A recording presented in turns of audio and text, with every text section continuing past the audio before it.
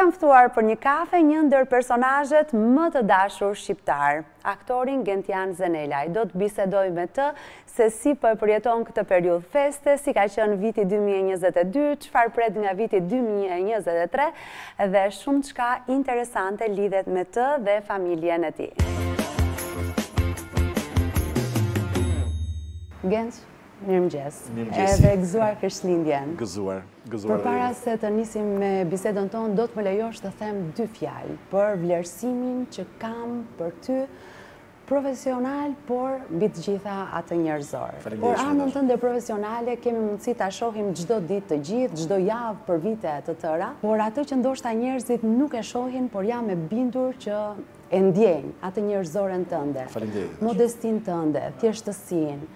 mirësinë, pozitivitetin, ka disa persona për të cilët biem të gjithë dakord. Sa i mirë është, sa pozitiv është. Ti je njëri ndër ta. Faleminderit. Faleminderit. Nuk ka arsye të ndodhë kjo gjë, po e përcjell këtë gjë. Shiko, në shumicën e rasteve më del Të del se kështu je ti. Se kështu jam, por në në në në shumë raste edhe e sforcoj pak, sepse unë kam bërë një kam bërë një deal me veten time që do bëj çdo ditë nga një vepër të mirë, çdo ditë. Qoftë të vogël të madhe, s'ka rëndësi, sepse mendoj që e vetmja gjë që nuk humbet në univers është pozitiviteti dhe energjia pozitive. Ë mundohem të jem i sjellshëm me njerëzit sepse njerëzit janë treguar shumë të sjellshëm me mua. Pra është një shkëmbim që vazhdon prej vitesh tashmë. Unë mendoj që jam këtu për shkak sepse njerëzit janë treguar shumë të dashur me mua. Kam këtë famë që kam për shkak sepse njerëzit më kanë suportuar edhe në momente të vështira dhe unë këtë nuk e harroj kurrë. Dhe jam një djalë që kam ardhur nga një background shumë i thjeshtë dhe bëj një jetë shumë të thjeshtë dhe eci me një makinë shumë të thjeshtë, edhe frekuentoj vende shumë të thjeshta, sepse jam gjithmonë i përgatitur për t'u kthyer prapë në këtë thjeshtësinë nga ku nisa. Pra, për mua Suksesi dhe fama janë shumë të përkohshme, janë gjithmonë të përkohshme. Unë kam parë figura madhështore të artit botëror të cilët janë kthyer në thjeshtësi. Kush me drama, kush me me me probleme të mëdhaja personale, kush me me trauma të mëdhaja. Unë uroj Zotit mos ta kem këtë, sepse jam mbështetur fort tek njerëzit. Dhe besoj që edhe në atë periudhë njerëzit do më suportojnë prapë. Fuqinë tënde të vërtetë unë nuk e kam njohur përmes ekranit, por kur kam ardhur në teatër, në një rol dramatik. Në një rol dramatik. Më kujto, në në cilin rol? Shumë vite më përpara, dy djem me një makinë. Ah, po, po, është është është shfaqja me të cilën unë dhe Saimir Braho fituam fituam aktorët më të mirë të festivalit. Është është çmimi i parë që kam marrë si aktori më i mirë i festivalit. Unë kam pas një bindje të theksuar që unë jam i prerë për aktor dramatik. Altin Basha, regjizori, shihte tek unë nuanca të forta humori, i cili unë mendoj që është profesion shumë më i vështirë sesa të jesh dramatik, pra të transformosh një një një emocion negativ në pozitiv është shumë më vështirë. Pozitiv negativ në negativ bëhet shumë kollaj. Shiko, nganjëherë me humor kur më propozojnë, më thonë pse s'bën drama, i them I have drama enough in, in my life. E kupton, pra kam drama mjaftueshëm në jetën time. Por ma beso, ta transformosh publikun dhe ta kthesh në buzëqeshje dhe ta kthesh nga një njeri i cili ka ardhur i lagur nga shiu, i lodhur, i stresuar, s'ka dit ku të parkojë makinën, është me nerva, ulet, nuk i pëlqen vendi dhe ta kthesh këtë në energji pozitive dhe ai në fund shfaqjeje të ngrihet në këmbë, të duartrokasë dhe t'ia shikosh që portreti i rrezëllin, më beso është magji. Të kemi parë dhe mendojmë që Genti lehtësisht na bën për të qeshur, di t'i sjellë këto emocione të bukura te ne, por Genti di të bëjë edhe këtë tjetrën sepse je aktor që mund të marrësh pikërisht kthesa. Tani e kujtoj edhe unë, kthesa ka qenë shfaqja shumë vite më përpara. Por meqenëse jemi në ditën e Krishtlindjes, do doja që ta nisim me këtë urimin për të gjitha familjet shqiptare që për të gjithë për të ne në Shqipëri duhet të themi për të gjithë, urojmë për të gjithë. Kjo është magjia e këtij vendi, që unë nuk kam parë vend tjetër, unë jam djalë që kërkoj shumë, gugulloj shumë, unë nuk kam parë një vend tjetër që të ketë një mirëkuptim kaq të madh fetar midis njerëzve në Shqipëri. Domethënë, është, jemi, kjo është një pasuri e madhe që ne duhet ta çmojmë shumë, toleranca që kemi, po. dashamirësia që kemi pra, jeta ime është një, sepse unë e kam thënë disa herë, bashkëshortja ime është ortodokse, po. vllai im është katolik i konvertuar, Erioni është katolik i konvertuar. Po, sa interesant. Unë nga familja jam, jemi mysliman dhe shokun tim, kolegun e punës e kam bektashi, Saimirin. Pra, nëse ka, nëse ka një një bashkëjetesë të mrekullueshme, unë e kam, unë e përjetoj personalisht. Pra, dhe pa diskutim Shqipëria nuk i vë re këto gjëra. Shqipëria është një vend këtë e ka pasuri dhe unë e vlerësoj shumë në këtë popull. Dhe çfarë kujtimesh ke nga kjo ditë? Shiko, Lezha përgjithësisht është një është një është një qytet ku katolicizmi është shumë i fortë. Unë a priori mendova që je katolik. Jo. Duke qenë se je nga Lezha. Jo, ne kemi qenë katolik, po ti e di si ishte ajo kohë para shumë vitesh ku detyroheshe të konvertoheshe për shkak sepse regjimi kjo sundimi turk për facilitete. Madje ne me origjinë jemi nga Shkreli, nga Malësia e Madhe, nga mahalla Ducaj, Dhe me sa më kanë thënë të parët e mi, ne kemi pas një mbiemër Vata dhe kemi qenë katolik. Pastaj kanë zbritur për arsye gjakmarrjes para shumë vite, para qindra vitesh dhe kanë dalë në Krajë të Malit të Zi dhe janë detyruar të konvertohen musliman. Sepse atje kanë qenë, nëse doni të jetoni këtu, sigurisht duhet të ktheheni në musliman.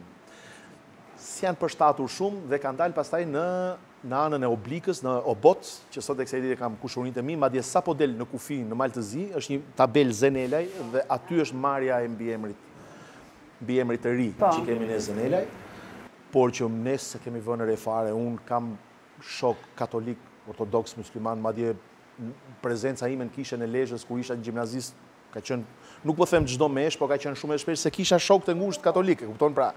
Vajtja në meshë ishte për ne një sapo u hapën atëherë, po flas për vitet 96, 95, 94, 97 dhe ajo kisha e Lezhës është një kishë shumë interesante. Unë unë i vizitoj, për shembull, një nga kisha që më ka lënë një përshtypje të jashtëzakonshme është kisha e Rubikut, e cila është sipër shkëmbit, është një atje sikur hyn në një sikur hyn në një botë tjetër.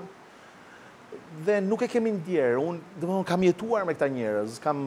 Ke jetuar, ke festuar, në familjen tuaj është festuar Krishtlindja. Aq më tepër që tani bashkëshortja ime Aida është ortodokse dhe ne i festojmë, por festojmë dhe Bajramin sepse është mamaja ime, është, janë farefisi im, pra i festojmë gjitha festat, është Është gallak festojmë gjitha festat. A ka më bukur se të kesh mundësinë të të festosh edhe të gëzosh. Edhe kjo është një periudhë e vitit që na bën të ndihemi mirë, por edhe të reflektojmë, të kthejmë pak sytë pas çfarë ka ndodhur, pra si ka qenë ky vit, si ka qenë dy mijë e njëzet e dyshi për ty. Ka qenë, do ta quaja një nga vitet Unë vij nga një vit i tmerrshëm i dy mijë e njëzet e njëshit dhe çfarëdo të ndodhte në dy mijë e njëzet e dyshin për mua do ishte një rreze drite në në qiell të hapur. Ishte sëmundja ime shumë e rëndë me Covid-in, humbja e babait, pra pata një pata një dy mijë e njëzet e një sterrë të zi dhe thoja o Zot kur po mbaron. Dhe dy mijë e njëzet e dyshi ishte një ardhje në dritë, pra ishte një e shijova shumë, punova shumë, m'u krijua një një një një mendim në kokë që nuk ka kohë. Dhe në dy mijë e njëzet e dyshin kam punuar si i çmendur. Jam marrë me njerëzit si i çmendur. Kam shijuar jetën si i çmendur. Pra, kam jetuar njëzet e katër orë në maksimum, sepse pas asaj sëmundjeje shumë të rëndë që kalova, që ka lënë shumë shqiptarë dhe nuk ngeli familje shqiptare pa pësuar një kuptova që Për një ampulë që thyhet diku në Kinë, jeta jote modifikohet dhe mendova që nuk ka më kohë. Nuk ka më kohë dhe kam shfrytëzuar dy mijë e njëzet e dyshin në maksimum për të qenë pranë njerëzve, pranë familjes, madje për festat e Vitit të Ri kam marrë një shtëpi me qera në Korçë dhe do t'i mbledh të gjithë. Ah, sa bukur! Pra, do t'i mbledh të gjithë Familjarët e mi, t'i mbledh atje të bëhet një rrëmujë e madhe, dua që të flemë në tokë me dyshek të shtrirë në tokë. Pra dua njerëz. Kam vendosur ta mbledh familjen. Është ma besoni, e kanë thënë figura shumë të mëdha para meje dhe në fund të fundit ajo që ka vlerë është vetëm dashuria, familja dhe njerëzit që të rrethojnë. Gjitha tjerat janë janë sporadike, shkojnë, vijnë, paraja shkon, vjen, humbet, ngrihesh, ajo që ngelet gjithmonë është dashuria e familjes. Kam vendosur të jap investimin më të madh kësaj kësaj gjëje, këtij drejtimi. Për vite me radhë, prej profesionit dhe punës tënde të është dashur që kohën e festave ta kalosh jashtë shtëpisë. Ti e di shumë mirë, ne të televizionit jemi pak jemi pak si zboristë, pra jemi në gjendje gatishmërie numër një. Po, po. Po veçanërisht në periudhën e festave, aty është kulmi i çmendurisë. Por shpesh herë kur shkoj nëpër shfaqje, nëpër rrethe mundohem t'i marr me vete, pra i marr me vete, po po marr shembull, nëse kam shfaqje në Korçë, unë i marr me vete dhe kaloj një fundjavë të mrekullueshme me ata. Nuk i lë kurrë pas dore, pra nuk nuk i lë, nuk i shmang asnjëherë. Mundohem t'i kem pranë. Sigurisht puna në televizion ti e di shumë mirë që është është një çmenduri në vete, është intensive, të merr energji, të merr kohë. Unë tani kam bërë edhe shumë teatër në këtë periudhë, por që nëse ti do të gjesh kohë, gjen kohë. Edhe tani që jam në një në një shfaqje, pra aktualisht është shfaqja në Teatrin Kombëtar, ndërkohë puna e përditshme në televizion, angazhime të tjera. Djalin e marr me vete gjatë provave, vajzën e marr me vete gjatë provave ndonjëherë ose gjatë shfaqjeve, ajo më ndjek vazhdimisht. Bashkëshortja ime Aida po ashtu vjen. Kur kemi turne, ata lumturohen shumë se kanë mundësinë që të shkëputen nga kjo dhe ta shfrytëzojnë për për të për të qenë me mua, për të qenë bashkë. Mundohem aq sa kam mundësi, sepse shiko, perfektja është është është utopi, nuk arrihet asnjëherë. Por ti mundohesh të bësh atë perfekten tënde? Unë mundohem të bëj maksimumin tim, të jem pranë tyre, madje ata mendojnë që babi është më i miri, sepse babi llaston, babi blen gjëra, babi shëtit, babi çon nëpër restorante. Mami kritikon. Sepse Aida është sigurisht është më me këmbë në tokë dhe thotë ti ma bën me hile, thotë sepse duke i llastuar i ke marrë vëmendjen i them ia jap sepse shiko, ndoshta ok, po po tregohem, po tregohem, po bëj pak avokatin e djallit. Ndoshta edhe e blej në njëfarë forme këtë dashurinë sepse dua ta ndjej, sepse ata do rriten, do rriten edhe do vëmendja e tyre sigurisht. Lexova një artikull shumë interesant që deri në 12 vjeç fëmija ka një ka një marrëdhënie vertikale me prindin. Pra, nga nga lart poshtë. Pastaj pas 12 vjeç fillon horizontale. Pra fillon dhe ti si prind, ne si prind spostohemi pas shokëve. Është e habitshme, por ndodh. Unë po e ndjej me me fëmijën tim të parë që është katërmbëdhjetë vjeç, ka fazën e adoleshencës, thotë vetëm jo, ka mendimin e vet, mendon që është më i zgjuar, më i pavarur. Dhe ne ne që jemi prindër në njëfarë forme që lexojmë, që gugullojmë, Na duket si, a e di që na bëhet më e vështirë, sepse futemi në ca, nuk e di, a e kanë pas kaq vështirë prindërit tanë për të. Unë nuk e di, ose nuk ishin kaq shumë të fokusuar vetëm tek fëmijët, mund të jetë edhe kjo. Jemi pak. Ne i përgjithësisht ne shqiptarët jemi shumë të fokusuar tek fëmijët. Fakti që unë shoh shqiptarë që shpenzojnë Jo vetëm tek shpenzimi i për edukimin, për edukimin. Për edukimin. Do të thotë shoh familje shqiptare që i duan fëmijët, i duan fëmijët të shkolluar, i duan me gjuhë të huaja. Pra kjo është gjë shumë e mirë. Dhe është për t'u habit sepse shqiptarët kudo që shkojnë nëpër Europë, janë shumë janë shumë të aftë. Shkëlqejnë. Unë besoj te genet. Unë kam unë besoj që është çështje geni, sepse është për t'u habitur që brezi i dytë, pra emigrantët që kanë bërë fëmijë jashtë shtetit, po t'i shikosh, fëmijët e tyre janë të parët kudo. E vërtetë. Pra, unë, unë besoj që ka, është çështje geni. Pra, ne jemi, ne jemi gen shumë i mirë, ne jemi gen shumë inteligjent. Jemi një gen që kemi, kemi, kemi jetuar në këtë pellg, kemi mbijetuar edhe pse për shkak trysnive shumë të mëdha, Dhe kjo është, kjo është një shenjë dalluese. Po është vetëm gen apo është edhe për shkak të rrethanave, sepse është ai brezi i vështirësive që në kohë të vështira nxjerr njerëz të fortë edhe të mirë. Po. Mund të jetë edhe kjo? Shqipëria ka kaluar dallgë shumë të forta dhe mendoj për t'u përshtatur ne jemi detyruar të mësojmë gjuhët huaja, të përshtatemi, të adaptohemi. të të të të jetojmë, të mundohemi të jetojmë me kushtet e tjerëve, sepse të përshtatesh të ikësh tani nga, po marr shembull nga Kukësi. Po. Të përshtatesh në Angli, apo të ikësh nga Përmeti, apo të ikësh nga Lezha, të ikësh në në Amerikë dhe të përshtatesh, kjo nuk është pak, pra, sepse ti vjen nga një dimension komplet tjetër. Çfarë kujton nga mbrëmjet e Vitit të Ri me familjen? Oh, ka qenë periudha ajo e monizmit, është interesante sepse... Nëse e ndajmë përpara nëntëdhjetës dhe pas nëntëdhjetës. Përpara nëntëdhjetës ishte... Mblidhej fisi, familja shumë e madhe? Pa diskutim, mblidhej familja e madhe, por më kujtove atë faktin që vinte ajo periudha që ti merrje me tollon 10 kile portokalle, 10 kile mandarina, 10 kile Portokalle dhe mollë. Edhe arra duhet kishte se do bëheshin dhe ato... Bakllavaja patjetër që duhet bëhej, po më kujtohet si sot që mamaja ime për shkak të mangësive, merrte biskota, kanë qenë biskotat e Shkodrës, i kavërdiste fort dhe ato bëheshin pak krokante dhe shpeshherë i përzinte me arrat për të krijuar idenë e një... Sepse atëherë, ajo që më pëlqente te Tek femrat shqiptare ishte që sajoheshin. Sajoheshin, po sa mirë pra, sajoheshin. Sajoheshin, frigoriferi bosh, por sajoheshin. Dhe kjo përshembull më kujtohet, mama ime që kavërdiste këto biskotat e vogla të thërmuara, që i përziente se arra ku kishte atëherë, ishte ishte mangësi e madhe shumë. Ishte mangësi e madhe për gjetur gjalpin, për gjetur për gjetur arrat, për gjetur sheqerin, se bakllavaja do... Por kjo më kujtohet dhe petët që thaheshin në gjithë shpinë, mamaja që thoshte mos u ul këtu, mos u ul atje, mos u ul. Ato atë ditë rrini në këmbë, ose dilni luani, po. mos më rrini nëpër shpi, lodheshin pafund dhe gjëja më e bukur që unë e them shpesh është që vinte ora 8 dhe po. shikoja mamanë e cila mbështetej në divan pasi bënte gëzuar sepse ishte lodhur. Pastaj, pas nëntëdhjetës, sigurisht filluan shqiptarët kishin më shumë bollëk, ta, Edhe mund ta blinin, edhe mund ta porosisnin një baklava. Po prap mamaja ime lodhej sepse bënte bakllava për tjerët me porosi dhe gjithmonë më kujtohet zënkat me babain tim që i thoshte mos bëj më, u lodhe, mos bëj më. Po jo, po se e do filanja, se unë e bëj të mirë, se ajo e ka qejf, por por kjo atmosferë nganjëherë nganjëherë na humbet. Po. Humbet momentin kur ne vendosim për të shku në restorant. Që ta bëjmë darkën në restorant. Ok, ushqimi mund të jetë më i rafinuar, mund të jetë, por prapë ti e humbet atë të ndënjurin me tuta shpije. Rehatin e shtëpisë, që s'ta jep asgjë tjetër. Me bluzën tënde më të grisur, më të vjetër, që ti rri rehat. Po viti ri nuk duhet të na gjejë me të grisura? Unë nuk i shoh këto gjëra. Unë, unë, Unë në shpi kam edhe bluza të grisura dhe tuta të grisura që rri vërdallë nëpër shpi. Nuk e s'është ndonjë problem për ta thënë, por që ajo aroma që merr shpia është e pazëvendësueshme në në ato ditë. Edhe besoj pasionin për të gatuar edhe dashurinë për të gatuar e paske nga nëna jote. Mamaja ime është një guzhiniere shumë e mirë dhe unë shpeshherë debatoj me bashkëshorten time sepse unë kam filluar t'i t'i kem shumë inat darkat e ngarkuara të Vitit të Ri. Pra, të ngarkuara me shumë gjëra në tavolinë, madje vjet unë kalova një vit ri të mrekullueshëm se bu, ok, po e them u bëra unë shef kuzhine. Dhe e orientova komplet tek peshku.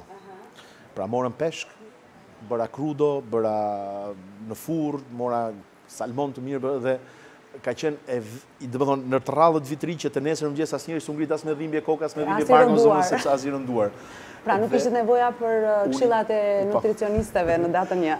Unë kam filluar të insistoj që të jetë ndoshta ka më shumë vlerë dy tre shishe verë të mirë me një ushqim më të mirë dhe për të kaluar mirë për dhe kemi kaluar një vit ri me familjarët e mi deri 4 të mëngjesit. Nuk e di, kemi bërë çmendurira. Gatuaj vetë, bashkëshortja përfshihet po ashtu. Besoj këtë vit ri në Korçë do bëhet aty do futet vjerra. Po do ta marr do ta marr nga Tirana. Aty do futet vjerra, mamaja ime, unë, nusja ime do jetë një spektakël. Do jetë një do jetë një kështu hell kitchen. Do jetë një kuzhina e ferrit, por që do ketë shumë fëmijë nëpër këmbë, do ketë rrëmujë, edhe mua kjo më pëlqen. Dhe nuk do të hapen peta, e fëmijët mund të luajnë të qetë dhe të shkojnë në secilin divan që duan të asaj shtëpie që ju keni marrë me qira. Tani kam marrë masa, kam porositur pak paçavure në Korçë, i kam gjetur një vend që e bëjnë shumë të mirë. Po. Kam porositur një vend një recetë tradicionale. Po, lakror. Dhe do ta kalojmë shumë. A je person që bën plane, që vendos disa qëllime në fillim të një viti? Pa diskutim që këto. Unë jam shumë detajist. I shkruan? Jo, nuk i shkruaj, po... I shkruan në mëndje? I shkruaj në mëndje, unë jam person shumë detajist, unë jam shumë organizativ, përpiqem që gjërat jenë të sakta, mundohem t'i akomodoj njerëzit sa më mirë, edhe nganjëherë kjo më kthehet në defekt, sepse kërkoj atë, kërkoj, kërkoj perfekten, në mund ta quaj. Shpeshherë, unë për shembull programoj nisjen, mbërritjen, ku do të ndalojmë për kafe, pra e ndjek këtë këtë organizimin, po më shumë nëse organizoj një udhëtim. Organizimin dhe itinerarin fillim e fund të gjësë. Pra, edhe kur shkojmë për një udhëtim jashtë shteti, Google-om që në fillim për top destinacionet, për gjitha gjërat, pra krijoj një program, sepse gjëja që ne nuk e kthejmë dot është vetëm koha. Pra kohën nuk e kthejmë dot. Dhe nëse koha menaxhohet mirë, mua më ka mësuar kjo ndoshta kjo jeta mes televizionit, teatrit, Më ka mësuar ta menaxhoj shumë mirë. Unë e kam vrap çdo ditë. Pra unë duhet zgjohem mëngjes të përgatis Arjen, vajzën time, ta vesh, sepse bashkëshortja ikën më shpejt se unë në punë. Pra unë e marr detyrën dhe unë unë marr ashensorin dhe unë jam unë bashkë me nja gjashtë mama të tjera që zbresim në ashensor poshtë me kalamajt. Pra. Sa e bukur. Me vrap, me vrap te parkimi, me vrap tek makina për të arritur për të kapur atë orarin që të dalësh te kryqëzimi pa shkuar ora shtatë e gjysmë se pastaj ngecesh dhe pastaj duhet të mbaroj punët e mia dhe të nxitoj për ta marrë nga shkolla për ta çuar prapë në shtëpi. Pastaj në shtëpi vetëm lë çantën e, e shkollës, marr çantën e kurseve dhe me vrap për ta çuar në në anglisht, në piano, ku shkon Arja. Pra, por e gjitha kjo nuk ndodh nëse ti nuk Ke programuar mirë Ditën, po, orën, ditën, kohën. orën, kohën. Nga nganjëherë kur më ftojnë nëpër studio, detyrohem t'i them shpesh jo se i them kam për të marrë vajzën dhe atyre u duket Po mirë, mo s'ka gjë, një ditë ta marrë dikush tjetër. Edhe një herë, kam për të marrë vajzën në këto. Është përparësia e ditës, është vajza. Në katër në ka, në katër pa një çerek duhet të jem tek shkolla për të marrë vajzën. Unë e kam vajzën në një shkollë publike. Siç ka qenë dhe Daniel në shkollë publike, Nuk kam preferuar kurrë të ma marrë furgoni, t'ma sjellë apo shoferi personal. Kam kam preferuar të jem aty se ma beso. Kur vajza ngre kokën dhe më shikon mua në oborr të shkollës që po e pres nuk ka lumturi më të madhe. Edhe nuk ka gëzim më të madh për të dy ju. Ajo ajo e përjeton këtë gjë dhe unë e shijoj shumë faktin që ajo e përjeton këtë gjë sepse ajo do rritet ndoshta këto gjëra shumë mund t'i harrojë po unë nuk i harroj dot. Pra me mua do jenë deri në fund të jetës time. Fëmijët i dua, do kisha pas dëshirë të kisha dyfishin e atyre që kam, por jeta kështu erdhi, gjërat kështu ndodhën, sepse prezenca e fëmijëve në shtëpi mua më lumturon shumë. Edhe i dedikohem, i jepem, si me djalin, si me vajzën, kam harxhuar vite të tëra, o ke rrjeta futbollit, o ke rrjeta basketbollit, o ke kursi karates, o ke kursi i pianos, pra i jam dhënë. Nuk pres asgjë mbrapsht, se ka shumë prindër që flasin se kur do na kthehet inve, nuk dua asgjë. Nuk është investim që e kam bërë për ta marrë mbrapsht pas njëzet vitesh. E kam bërë për veten time, e kam bërë për ata, sepse pashë një intervistë shumë bukur të, të një aktori të famshëm amerikan që tha, bëj katër punë për ju gjatë ditës që ju të kuptoni sa shumë po jap për ju dhe ju të kuptoni sa shumë duhet të jepni ju për të tjerët. Pra nëse kalojmë në sistemin e transmetimit qelizave dhe energjisë pozitive, lus Zotin që fëmijët e mi ta bëjnë këtë gjë dhe për fëmijët e tyre për breza për breza në vazhdim, sepse unë mendoj që qelizat kur fillojnë dhe imitojnë njëra tjetrën, fillon dhe përhapet gjithë energjia pozitive. Kjo është e rëndësishme. Fëmijët modelohen sipas asaj që shohin dhe jo sipas asaj çka ju thua dhe dëgjojnë dhe jam e bindur që në shtëpinë tuaj ka shumë gëzim, ka shumë lumturi, ka shumë mirësi mbi të gjitha shumë dashuri. Nëse ti arrin të të dalësh mbi zënkat e Danielit dhe të Arjes, pra të dalësh te këtë pistën. Që besoj janë të zakonshme në këtë periudhë, me një djalë katërmbëdhjetë vjeçar dhe një vajzë gjashtë vjeçare. Janë si fitili me kapsollën. Pra duhet t'i transportojmë me kamiona të veçantë që mos të plasin. Ke parasysh në ushtri, fitili dhe kapsolla transportohen veç e veç. Janë kështu, eksplozivi dhe fitili veç e veç. Fitili kush ishte? Fitili i dinamitit. Jo, jo, kush është nga të dy fitili? Fitili është Arja. Dakord. Arja është fitili. Kapsolla është Danieli. Kukur. Shë që i, da, i, i transportoj, me humor them i transportoj veç e veç. Uh, kanë zënkat për shkak të diferencës në moshë. Pikërisht. Ajo tani është në fazën që ka filluar të kuptojë, ka filluar të, të, të futet në këtë, jo po loja kjo, jo po loja ajo, jo po PlayStation, jo po është një lojë kështu, po ky tani nuk i kushton vëmendje, sepse është Ka filluar të krijojë muret e veta mbrojtëse, pra. Dhe është në fazën e. Ajo do të futet, ajo do të futet dhe ka një sherr të paparë gjithmonë për këtë gjë. Ajo mezi që pret të kthehet nga shkolla që t'i tregojë se si luhet kjo loja, ky ka gjërat e veta në kokë. Domethënë, ai është një fazë që do kalojë. Edhe i them nganjëherë Danielit, i them o Daniel, kjo është shtatë vjeç. Kur të bëhet kjo dymbëdhjetë vjeç, as në dhomë, në dhomën e saj s'ke për t'u fut dot. Se do jetë shumë, do jetë shumë e pakalueshme, kështu që shfrytëzoje, jetoje këtë periudhë që të kesh mundësi që të kesh kujtime të bukura nga kjo, nga kjo, nga kjo fazë. Por që ka ka hare, ka gallat, ka ne kemi edhe një mace e cila është vërdallë nëpër shtëpi që është qoftja, Qofte e ka emrin apo kështu e përkëdheni? Qofte ka emrin. Ne e kemi shpëtuar nga rruga ditën e ditëlindjes së vajzës time. Ah, sa bukur. Dhe vajza kur e morëm për herë të parë sa e bukur je më qofte, dhe ajo ka ngel u bënë 4 vjet dhe festohet çdo ditëlindje të Ares, edhe ditëlindja e qoftes. Kemi macën e shtëpisë, jemi në prag për të marrë një qen. Aha. Sigurisht sa të bindim mamin, të bindim Aidën që ta marrim, po duhet e duam me kontratë me shkrim. Po po. Ne jemi animalistë si familje, fëmijët i duan kafshët, Fëmijët unë i çoj pranë natyrës, i çoj pranë ta ndjejnë, qoftë edhe kafshët edhe ua kam dhënë këtë qasje. Kështu që është një familje e zhurmshme me hare që në pikë të mëngjesit fillojnë Çfarë pret nga 2023-shi? Të pushoj pak.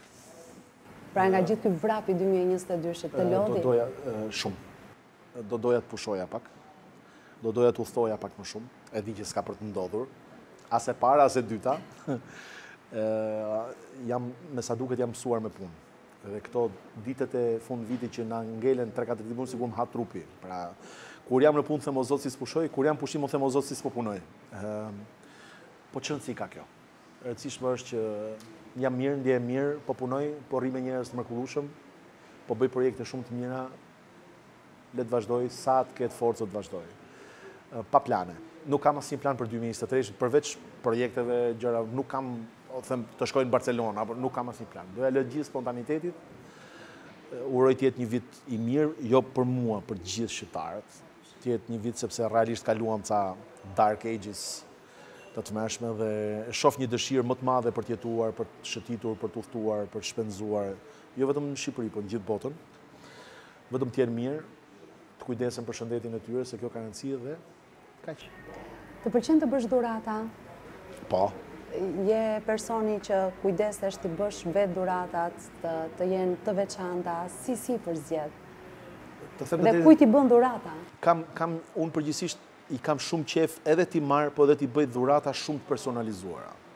Pra, të mos jenë dhurata standard që ti ke shkuar në dyqan. Unë kam një dy tre pika në Tiranë që bëjnë dhurata të personalizuara, qoftë edhe një po marr shembull një filxhan, një filxhan i, i dedikuar, i shkruajtur me një me një me një shënim, me një shkrim.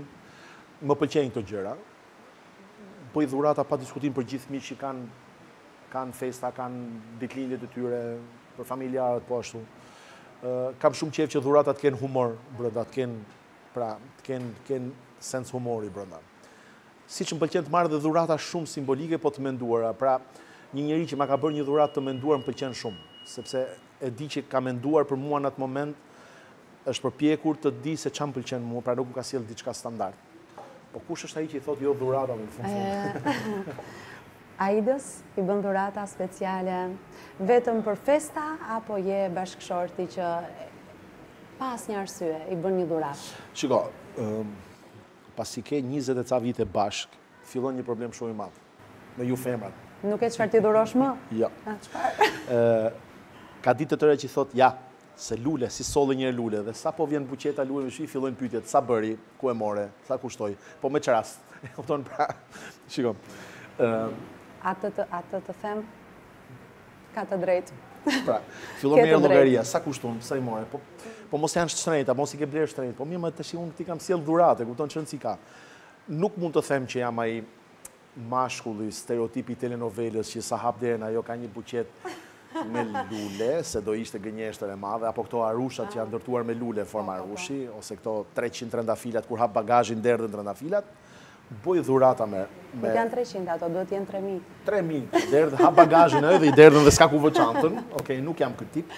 E pra, e pra, nuk jam, unë, të të them një sekret, unë nuk e kam qejf fare Parisin për një arsye, sepse është gjithçka butafori shumë e madhe. Unë jam natyrë shumë e thjeshtë, dhe çdo gjë të ekzagjeruar, të të stërstolisur, të stërlyer me flori, këto ura të lyera me gold, me këtë madhështinë unë nuk e kam qejf. Do të dashuroja shumë më tepër një qytet si Firence, ose një qytet si, si, në, ose ca fshatra të Puljas, po. apo një qytet, do të thonë, ku janë trullit, pra, një qytet si Përmeti, një qytet, një qytet si Berati, thjeshtësia, gjërat e bukura të vendosura në vend se sa madhështia. Ma beso, sa herë që kam vajtur në Paris ka qenë një zhgënjim total, sepse unë nuk e kam qejf maninë e madhështisë. As tek dhuratat, as tek stili i jetës, as tek rrobat që vesh, as tek shtëpia që kam, kam një shtëpi shumë modeste nëntëdhjetë metra katror, as tek bile tek shtëpia që që u futa në fundit erdhi arkitekti a filloi kështu tash zemra. M'i hiq këto mermerët, këto çezmat e luksit, m'i hiq të gjitha. Po pse, dua thjeshtësi dhe prakticitet. Nuk i kam qejf. Siç nuk i kam qejf as tek dhuratat, as të marr dhurata të tilla, sepse mendoj që Instagrami po bën një dëm shumë të madh në në shoqërinë tonë dhe TikToku, po i mëson njerëzit me maninë e madhështisë, me këto tipat që bëjnë videoklipe me lekë të hedhura kështu, me, me fe, gjithë me Ferrari, gjithë me Lamborghini, gjithë me po si s'doli një reper shqiptar të bëjë një Një një një këngë me një Fiat të vjetër pesëqind apo me një motoçikletë të vjetër. Ja ti e ofron tëndin për shembull. Patjetër që po, unë jam fans i për klip. Unë jam fans i viteve 60. Unë mendoj që janë vitet më të bukura në historinë e botës. Siç i kam motorët nga vitet 60, siç kam edhe shumë filma nga vitet 60, shumë libra nga vitet 60, e dashuroj atë periudhë sepse mendoj që periudha më e mirë e njerëzimit është periudha pas luftës. Po, Gjithmonë pas luftës ka dëshirë shumë të madhe. Dëshirë për të jetuar. Dhe ka pasion shumë të madh për jetën, edhe ka dëshirë shumë të madhe për të shkruajtur. Duhet të kisha qenë djalë i ri në vitet 60, 70. Mendoj që janë vitet e arta, sweet years janë. Dhe kjo mania që është sot jo në Shqipëri gjithsesi. Kjo mania që është sot me me luks të shfrenuar, me mua të them të drejtën ka filluar të më të më acarojë pak nervat. kjo qasja e Dubait kudo e e e e Dubaistëve në çdo gjë. Pra, mëngjes drekë darkë Dubai, mëngjes drekë darkë Katar. Dhe harrojnë që kudo të shkosh ti, jo në Dubai, po në çdo vend me dhe atë kapuçinon që do ta gjesh ti në rrugicat e Barit të vjetër, apo në lokalet e vjetra, apo në rrugicat e pedonales së Shkodrës, apo tek Pazari i Ri në Korçë, apo në një lokal të mirë në Përmet, apo në Gjirokastër, nuk ke për ta gjet, jo në Dubai, po në asnjë vend të botës. Ajo tavolina e vjetër që ndoshta për po, po. tundet pak, po që ti je kaq rahat dhe je kaq komod. Dhe meqenëse ishim te kafja, rubrika quhet je për një kafe dhe të falenderoj që ishe për këtë kafe. Sa kafe në ditë pi? Gjashtë. Gjashtë kafe? Po. Po arrin të flesh në darkë me gjashtë kafe? Po, sepse përgjithësisht zgjedh kafe të mirë. Kam një video shumë interesante në Turqi që futem vetë në banak dhe e bëj. Sepse në shtetet ku ku nuk kanë tendencën, Shqipëria ka kafeteri shumë të mirë. Po. Mund ta themi këtë gjë. Madje sa për informacion, makiatoja më e mirë që është shpallë në Evropë është bërë në Kosovë. Po. Në Prishtinë. Kosova ka fituar vendin e parë për për përpara disa vitesh. Përpara disa vitesh. Ne kemi kafeteri të mirë po aq sa italianët. Pra kemi Bar ekskluziv. Dhe nëse gjen pika të mira ku ka kafe të mirë në Tiranë, mund t'i pish edhe gjashtë pa asnjë problem. Edhe gjashtë pa problem. Në momentin që fillon të nxjerrë kafe, numëro deri në tetë thuaj fike. A duhet të qëndroni aty pranë banakut për të porosur kafe? Po, italianët prandaj e pinë në banak. Kafen e mirë dhe ta pini menjëherë. Po. Të falenderoj shumë. Është shumë kënaqësi. Shpresoj shumë që të bëhen realitet të gjitha dëshirat. Familja të ketë të gjitha bekimet. Edhe unë për ju, për gjithë ju. Faleminderit. Ishte kënaqësi. Faleminderit shumë.